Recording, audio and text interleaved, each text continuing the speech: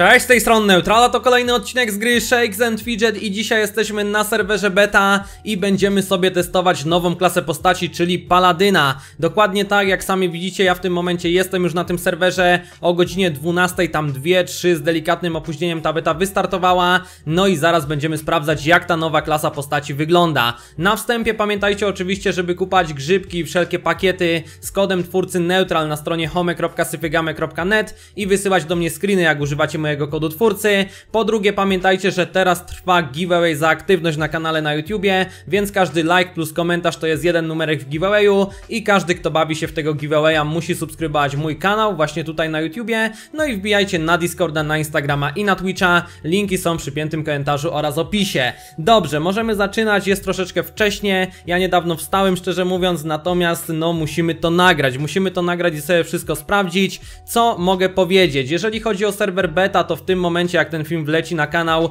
na pewno już nie będzie miejsc na ten serwer, jego można odpalić na przeglądarce, y, tam link beta.syfygamy.net, natomiast nie będę wam dawał jakichś instrukcji, dlatego że mówię, jak to wleci na kanał, no to już raczej miejsc nie będzie, jest tysiąc miejsc, no i pewnie szybko się rozejdą, bo dużo osób jest ciekawych jak wygląda nowa klasa postaci, ja oczywiście otrzymałem swój taki prywatny kod dostępu, żeby móc wam nagrać odcinek z tej bety, nie? Tutaj akurat yy, wiadomo, no żeby pokazać pokazać szerszemu gronu publiczności, że tak powiem, jak ta nowa klasa wygląda. Ja swój kodzik mam. No i dobrze, jesteśmy na tym serwerze beta. Tutaj mamy, jak widzicie, do wyboru różne klasy postaci, no i mamy tego paladyna. Oczywiście głównym Główna statystyka, główny atrybut to jest siła, no i mamy te trzy formy, o których już opowiadałem, trzy formy w walce, jest to forma taka neutralna, jest to forma ofensywna i defensywna, zaraz do tego przejdziemy. Jeżeli chodzi o grafikę Paladyna, to niestety, no coś mi ona przypomina, szczerze mówiąc, przypomina mi ona e, Shakesa, przypomina mi Shakesa e, właśnie starczą i mieczem, ale no na razie jest taka przyciemniona, nie wiadomo o co chodzi. Klikamy sobie continue. Oczywiście, tutaj weźmiemy powiedzmy demona, no bo to klasa pod siłę, e, dam sobie, nie wiem, wiem, Neuti, yy, Neuti Palek, nickname, cokolwiek. O, akurat weszło. Mamy serwer beta, no i co? I lecimy. Cyk, save, no i mamy access code. Ja ten access code sobie oczywiście wkleję, no i nie będzie on już dostępny. Wy już nie próbujcie, dlatego że y, no użyłem go ja, tak? No i właśnie, mamy ten serwer beta, mamy tutaj różne rzeczy odblokowane. Ja kilka dni temu, nie pamiętam, tydzień temu, coś koło tego, nagrywałem film o tej nowej klasie postaci, taki szybka, taką szybką zapowiedź, którą dostaliśmy my jako gracze i ogólnie y, wszyscy tutaj zainteresowani Shakesem, gdzie opisywałem jak będzie wyglądał serwer beta i jak będzie wyglądać właśnie Paladin. Tak czysto teoretycznie, więc można się cofnąć do tamtego filmu, ale no, mamy 40 tysięcy grzybów na start, mamy level jak widzicie 500, ja akurat dostałem 500, mamy EQ, mamy dużo rzeczy odblokowanych, no i możemy e, tego Paladyna testować. Tutaj ta jego ikonka też wydaje mi się, że jeszcze nie jest skończona, szczerze mówiąc, no ale dobrze, jeszcze tak słowem wstępu, może Wam powiem o kilku rzeczach, zanim tu przejdziemy do takich konkretnych rzeczy. Ten film pewnie będzie podzielony na podrozdziały, żebyście wszystko fajnie dostali, ale tak, yy, o, teraz nas wylogowało, no to jest normalne, będzie nas tutaj wylogowywać, bo pewnie serwer jest obciążony. Przede wszystkim pierwsza sprawa, na którą Wy zwróciliście uwagę, to jest brak ankiety z pasywką. Brak ankiety z pasywką. Rok temu, jak wychodził Nekromanta, to najpierw mieliśmy możliwość wyboru klasy postaci, tak jak w tej sytuacji właśnie tam był Paladyn, ten człowiek śmietnik i ten Elemental Elemental Knight, chyba on się nazywał. Y, mieliśmy do wyboru y, jedną z trzech klas postaci. Rok temu było to samo z Nekromantą, ale później jeszcze mieliśmy do wyboru na przykład jaka pasywka będzie, no, będzie, jaką pasywką będzie się Nekromanta posługiwał, może tak. Y, tutaj nie mieliśmy tej możliwości, nie mieliśmy po prostu wyboru, no i dostaliśmy jakby z bomby pasywkę taką odgórną, nie? Odgórnie wybraną, gracze nie mieli za bardzo na nią wpływu i widziałem, że dużo osób właśnie jest zawiedzionych, dużo osób narzeka, bo ten paladyn paladyn nie ma nic wspólnego z takim paladynem z innych gier. Nie ma żadnego leczenia, żadnych umiejętności magicznych. No mówię, dużo osób patrząc na komentarze pod moimi filmami i jakieś tam opinie jest po prostu zawiedzionych. No i też y, tutaj dużo osób ma teorię, że ten paladyn był od początku wybrany. Przez to, że właśnie nie mieliśmy do wyboru pasywki, że jakby kogo by się nie zapytało, to on nie głosował na paladyna. Głosował albo na człowieka śmietnika, albo na tego Elemental Knighta, a tu nagle dostajemy paladyna, nagle już jest pasywka gotowa i tak dalej. To dużo osób y, no tak jakby, nie wiem, myślało, dużo osób było tak, no powiedzmy, dużo osób ma taką teorię, o może tak, dużo osób ma taką teorię, że Paladin już był odgórnie wybrany i ta ankieta to był troszeczkę taki pis na wodę. No tu oczywiście nie wiem,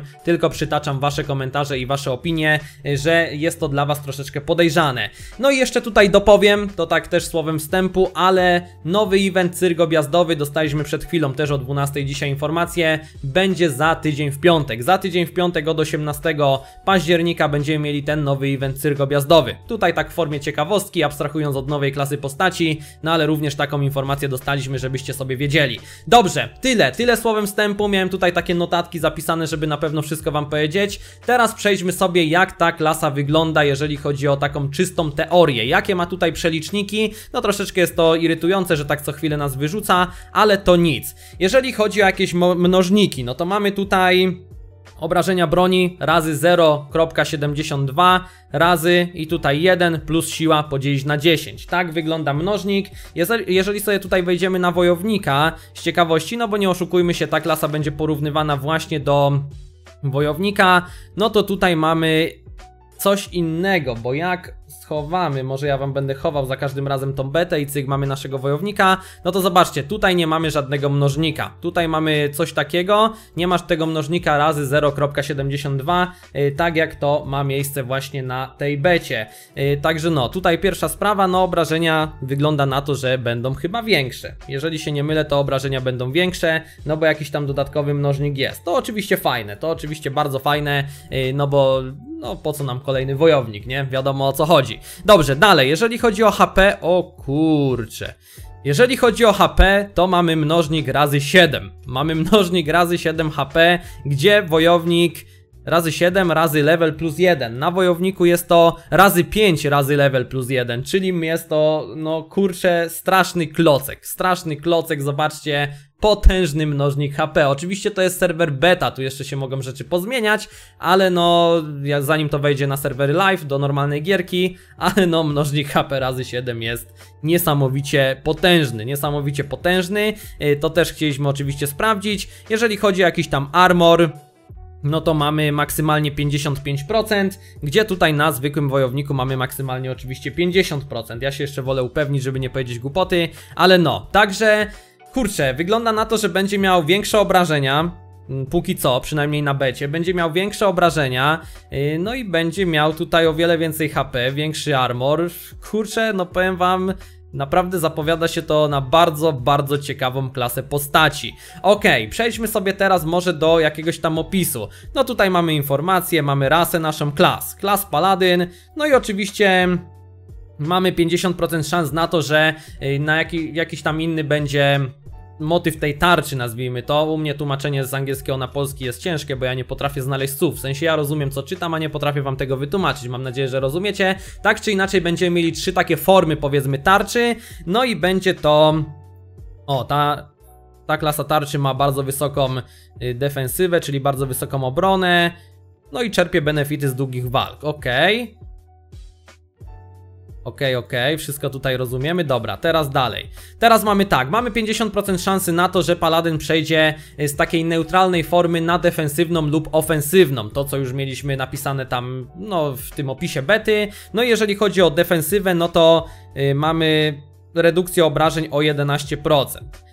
I potem mamy również 50% szans na to, że z tej formy defensywnej przejdzie na formę ofensywną. Jak sami widzicie, to są takie najważniejsze wartości. Także tutaj, no, mówię, jeszcze y, wzrasta nam podczas tej formy defensywnej no ten pancerz, y, ta redukcja obrażeń o 11%, także bardzo dużo, Jezu, to będzie straszny klocek, to będzie większy klocek niż wojownik. Chcę tym grać, szczerze mówiąc chcę tym grać nawet dla testu, żeby zobaczyć jak to będzie działało. Dalej, jeżeli chodzi o ofensywną tą formę, no to jest y, mnożnik tutaj obrażeń powiedzmy w formie ofensywnej zwiększony o 35%, y, no i potem mamy do neutralnej formy, y, szanse na przemianę do neutralnej formy 50%, nie? Czyli po prostu, no, szanse na zmianę tych form To jest. A, bo tutaj jeszcze mamy tą neutralną, ok, to ja ją ominąłem. W każdym razie zmiany tych form, no to jest 50%. Albo się zmieni, albo się nie zmieni. Rozumiecie o co chodzi? No i tu mamy tą formę neutralną, czyli po prostu nic się nie dzieje.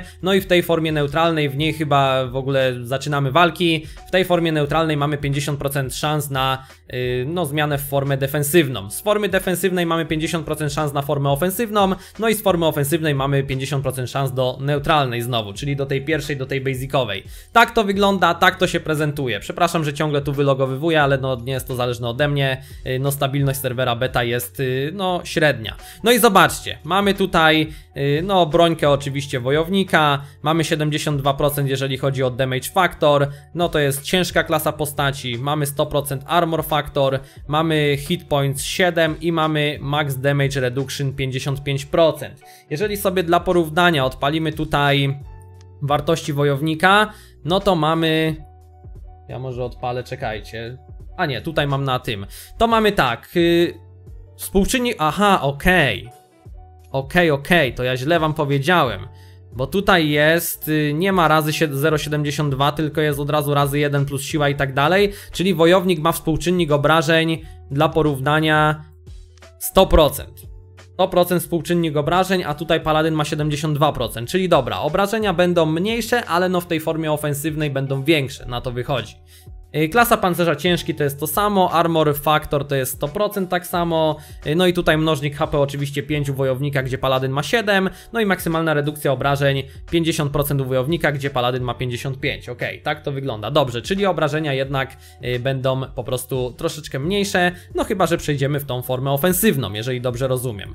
No i tyle, i tak naprawdę tyle, tutaj nic więcej nie mamy, posługujemy się oczywiście siłą, wiadomo, no i może teraz przejdźmy sobie do walk, teraz przejdźmy sobie walki, jak to wygląda. Oczywiście nasa, nasza pasywka nie działa na magów, więc jak tu wejdziemy w salę chwały i powiedzmy znajdziemy sobie jakiegoś maga. Oj, ale tu jest pierwszy level, dobra, to zróbmy tak.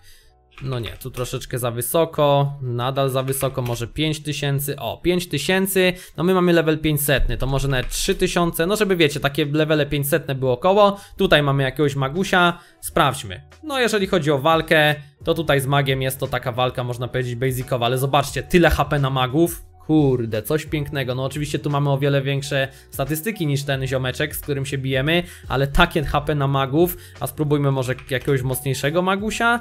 Yy, taki 518 nawet level. No tu też słabsze, słabsze statystyki, ale zobaczmy. No z magiem akurat wiadomo, walka wygląda basicowo. Nie ma pasywki, no tutaj, o, tu nawet przegraliśmy, co ciekawe. W każdym razie nie ma pasywki, wiadomo jak to wygląda. Teraz przejdźmy sobie na walki może ze zwiadowcą bo ja chcę zobaczyć, mówię, jak w praktyce to wszystko się prezentuje.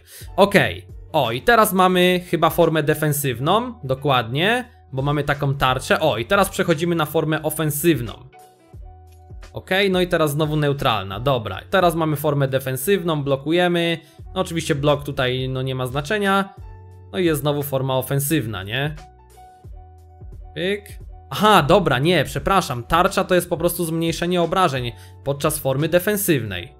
No tu widzimy, że za każdym razem jak my mamy formę ofensywną, to ten zwiadowca unika, nie? To też jest yy, powiedzmy minus dość duży. Dobra, okej, okay. no teraz nas wylogowało, ale cała walka przeleciała, czyli... Czyli dobra, tutaj nie ma możliwości jakby blokowania. W sensie for, y, możliwość blokowania jest tylko w formie defensywnej i to w takim sensie, że po prostu te obrażenia są jeszcze bardziej zmniejszone z tego co widzę u tego paladyna. No tak to wygląda, tak to wszystko tutaj wygląda. A sprawdźmy sobie jeszcze walkę paladyna z paladynem. No tu mamy formę i zobaczcie, i teraz użyjemy tarczy i dostaniemy obrażenia, ale o wiele mniejsze i on tak samo, nie? No i teraz mamy właśnie tą formę ofensywną. Teraz znowu defensywna, teraz ofensywna, ok, większe obrażenia, Ponownie mamy ofensywną, zobaczcie, bo oczywiście możemy przejść na tą formę z ofensywnej neutralną, ale nie musimy, nie? Nie musimy, na to jest 50% szans. Kurde, ciekawe, ciekawe, bardzo ciekawe. Y, wejdźmy tutaj jeszcze na może ten ranking 2000, nie wiem, z jakimś wojownikiem spróbujmy zawalczyć. Ale no wiemy jak to mniej więcej działa, wiemy, wiemy już jak to mniej więcej działa. Ofensywa to po prostu większe obrażenia, defensywa to takie powiedzmy poniekąd użycie tarczy, ale nie blokujesz ciosu, tylko po prostu zmniejszasz obrażenia, które otrzymujesz. Z magami tej pasywki nie ma.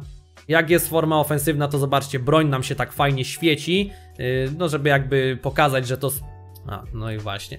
Żeby pokazać, że to są jakby no większe obrażenia, że te obrażenia są zwiększone. Kurde, ciekawe. Naprawdę bardzo, bardzo ciekawe. Tu możemy oczywiście przyspieszyć. Oj, chociaż tutaj jak przyspieszymy, to ciężko analizować te walki. Ale bardzo ciekawa klasa postaci, szczerze mówiąc. Bardzo ciekawa klasa postaci, bardzo taka sympatyczna, przyjemna. No jak dla mnie git. Jak dla mnie git. Mi się osobiście podoba. I mówię, no ten mnożnik HP, przede wszystkim ten mnożnik HP jak dla mnie jest no strasznie mocny, nie? Strasznie mocny, strasznie nawet bym powiedział troszeczkę przesadzony z racji tego, że no razy 7, nie? Wojownik ma razy 5 i to już było dużo, a tutaj mamy razy 7. O, zobaczcie, dostaliśmy osiągnięcie. Razy 7, coś niesamowitego, coś wielkiego. Dobrze, tyle. Ja mam dostęp do tej bety. Jeżeli wy macie oczywiście jakieś pytania, to piszcie w komentarzu, postaram się odpowiedzieć. Natomiast no raczej wszystko wam tutaj yy, pokazałem. Pokazałem wam chyba wszystko co powinienem wam pokazać, jeżeli chodzi o tą klasę, jak ona się prezentuje w walkach, jak działa pasywka. No oczywiście pasywka działa na wszystkie klasy postaci, oprócz tutaj z tego co widzę, no właśnie magów. O, Paladyn może walczyć z magami tylko w tej formie neutralnej, nie? Tylko w tej formie neutralnej nie może się zmieniać w inne, no ale to jakby logiczne, to już wiemy. Także no, wszystko wam pokazałem, jakie ma przeliczniki, jak działa pasywka. Oczywiście mówię, nie jest to jeszcze finalna wersja, to jest tylko serwer beta, gdzie jeszcze mogą się zmienić przeliczniki, może się zmienić to, jak działa pasywka, dużo rzeczy się może zmienić, ale to są takie pierwsze wrażenia właśnie z Paladyna.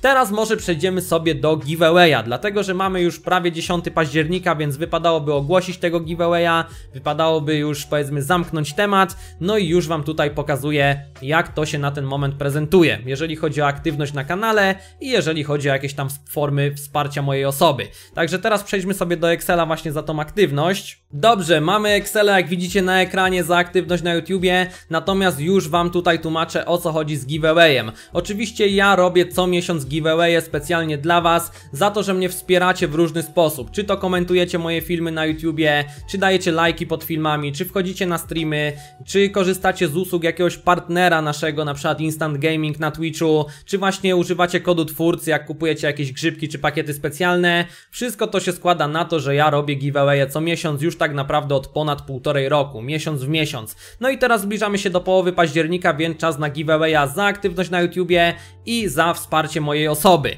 No i teraz tak, jeżeli chodzi o tutaj aktywność na YouTubie, w ogóle teraz nagrody to będzie 2 razy 200 zł PSC, ewentualnie 2 razy grzybki za 200 zł. Zwycięzca wybiera sobie co chce dostać, czy PaySafe Carda 200 zł, czy grzybki za 200 zł. To jest jakby oczywiste, wiadomo jak to wygląda. No i pierwsza część nagrody, czyli dwie stówki lecą do najaktywniejszej osoby na YouTubie. Tutaj już Wam pokazuję jak to wygląda. Mam jak widzicie tu w ogóle zwycięzca wrześniowej aktywności na YouTubie Lukatson. Mam tutaj wszystkie Wasze niki i mam obok Was numerki. Już Wam to wszystko prezentuję. Na ten moment największa liczba numerków jaką można było dostać, e, no to była, to było 18, to było po prostu 18 numerków. Ja jeszcze nie sprawdziłem dwóch filmów ostatniego i przedostatniego, więc maksymalnie osoby najaktywniejsze będą miały 20 numerków. Od razu tutaj zaznaczam, że jak teraz zaczniecie komentować na Hama filmy, to nic wam to nie da, bo już te komentarze nie będą brane pod uwagę, będą brane jeszcze tylko z dwóch ostatnich filmów. Ja to postaram się, powiedzmy dzisiaj jeszcze może albo jutro zrobić i na streamie ogłoszę zwycięzcę za aktywność na YouTubie. Jeżeli zdarzy się tak, a na pewno się tak zdarzy, że kilka osób będzie miało maksymalną liczbę numerków, czyli będzie to docelowo 20, na ten moment jak wam to pokazuję pokazuje 118. Więc jeżeli ktoś skomentował wszystkie filmy oprócz dwóch ostatnich, tu może na chwilę to schowam, jeżeli ktoś skomentował wszystkie filmy oprócz nowa klasa postaci zapowiedziana i ogromny progres na zaniedbanym zabójcy, bo tych filmów jeszcze nie sprawdzałem, no to ma właśnie 18 numerków, żebyśmy mieli jasność.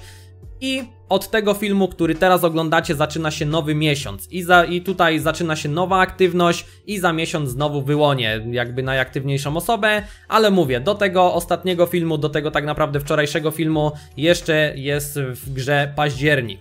Więc będzie maksymalnie 20 numerków. Każda osoba zostanie, która ma te 20 numerków, zostanie tutaj posortowana, dostanie swój numerek i ja na streamie oczywiście y, wyłonię najaktywniejszą osobę w ten sposób, że po prostu no któraś z tych tych najaktywniejszych wygra, tak jak to miało miejsce miesiąc temu, no i jakby dostanie nagrodę, skontaktuje się z nią i tak dalej. Więc no to wszystko zrobię na streamie, pewnie to nagram i wrzucę wam do któregoś filmu na YouTubie, żebyśmy mieli jasność, ale muszę jeszcze nadrobić dwa ostatnie filmy, nie miałem ostatnio na to czasu. Także mówię, będzie po 20 numerków, nie nadrabiajcie teraz wszystkich filmów w zeszłym miesiącu, nie komentujcie, bo nie ma to sensu, ja nie będę aż tak tego sprawdzał.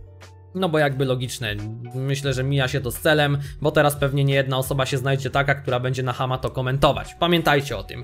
No i tyle. Także każdy, kto będzie miał tutaj 20 numerków, zostanie oczywiście posprawdzany, posortowany i tak dalej i po prostu na streamku ja jeszcze raz tą listę pokażę już taką dopełnioną, wyłonię zwycięzcę i na jakimś filmie na YouTubie też będziecie to widzieć.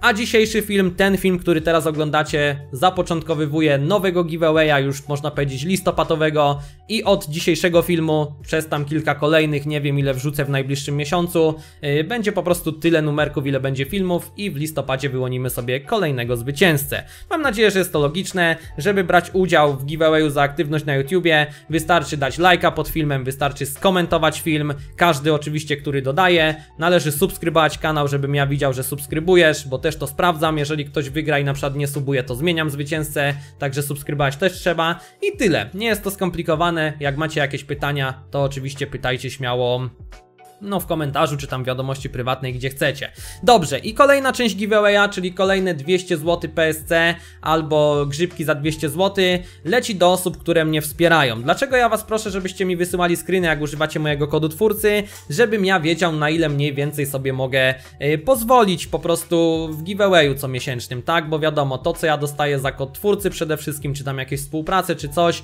ja staram się wam w pewnej części oddać właśnie za to, że mnie wspieracie. No i kolejny Kolejny Excel to jest coś, co po prostu zapisuję, jak wygląda wsparcie mojej osoby. Mogę wam chyba to, o dokładnie, o nie, to nie jest ten, czekajcie, to jest ten sam, to jest YouTube, to chyba będzie ten. O, dokładnie, to będzie ten, tak. Tutaj oczywiście zapisuję ludzi, yy, wiadomo, jeżeli ktoś korzysta właśnie na przykład z Instant Gaming, zakupuje coś, jeżeli ktoś mi wysyła jakieś screeny, że mnie w jakiś sposób wspiera i tak dalej, ja tutaj to wszystko zapisuję i to jest, można powiedzieć, druga część giveawaya. No i ta lista prezentuje się tak, zacząłem ją oczywiście od ostatniego giveawaya, w sensie jak zakończyłem giveaway wrześniowy, to już zacząłem lecieć giveaway październikowy, to wszystko się zazębia, więc pamiętajcie o tym, że nawet jak za tydzień tydzień będzie rozstrzygnięcie tutaj tego giveawaya, tej powiedzmy drugiej części, no to ja oczywiście już po ogłoszeniu zwycięzców otwieram nowego Excela i od nowa to zapisuję. To się ładnie zazębia co miesiąc, żebyście mieli świadomość. Natomiast no mówię, tutaj na szybko wam przelecę listę, czy wszystko jest ok, sprawdźcie sobie. Tak samo w tym y, giveawayu YouTube'owym za aktywność na YouTubie też sobie sprawdźcie, czy na pewno każdy jest dodany, czy wszyscy są wpisani, y, żeby nie było jakichś wątpliwości, czy każdy ma odpowiednią ilość numerków. Tak czy inaczej, no jak widzicie, tak się prezentuje ten giveaway. Tak się prezentuje tutaj druga część i spośród tych osób, tutaj jeszcze będę oczywiście dopisywał ludzi przez najbliższy tydzień. Za tydzień w środę na streamie wyłonię zwycięzcę, z którym się skontaktuję i który również otrzyma 200 zł PSC albo y, no, grzybki za 200 zł. To już zwycięzca sobie będzie mógł wybrać.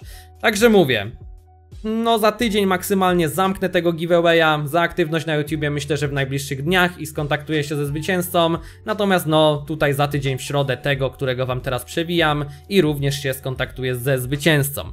Także w tym miesiącu ponownie 4 stówki do zgarnięcia u mnie, y, jeżeli ktoś na przykład, nie wiem, w jakiś sposób mnie wspiera, tak jak właśnie wspomniałem przed chwilą i jeszcze bierze udział w tej aktywności na YouTubie, no to ma jakby podwójną szansę na zgarnięcie y, dwóch stówek albo tu, albo tu, wiadomo jak to wygląda. Dziękuję Wam oczywiście ślicznie za wsparcie, dziękuję Wam za korzystanie z Instant Gaming, z moich rewlinków i zakupy tam. Dziękuję Wam za używanie kodu twórcy oczywiście przy zakupach jakichś tam pakietów, specjalnych grzybków i tak dalej. Dziękuję za lajkowanie moich filmów, za komentowanie moich filmów, za oglądanie moich streamów, za wszelaką aktywność, bo to wszystko się składa na to, że właśnie tutaj takie Excele powstają i ja nagradzam te osoby. Także pamiętajcie o tym i nie przestawajcie. Dobrze, tyle. Tyle ode mnie chyba.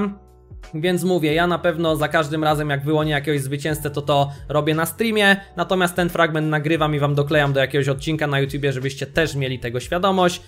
Więc po prostu pamiętajcie o tym. Ja wam pięknie dziękuję za uwagę, za oglądanie. Pamiętajcie, żeby kupować grzybki czy też pakiety specjalne z kodem neutral na stronie home.syfygamy.net. Yy, tutaj no oczywiście z kodem twórcy i wysyłanie do mnie screenów, jak używacie mojego kodu twórcy. Pamiętajcie, że teraz jest yy, ważna aktywność na kanale, więc każdy like plus komentarz pod filmem to jest jeden numerek w giveawayu za aktywność. No i oczywiście każdy, kto się bawi w tą aktywność musi subskrybować mój kanał. Oczywiście wbijajcie na Discorda, na Instagrama i na Twitcha, linki są przy piętym komentarzu oraz opisie. Dajcie im znać, dajcie, chciałem powiedzieć, dajcie info, dajcie znać co sądzicie o Paladynie, bo głównie oczywiście jego dotyczył ten odcinek. Dziękuję wam pięknie za uwagę, za oglądanie, trzymajcie się i cześć!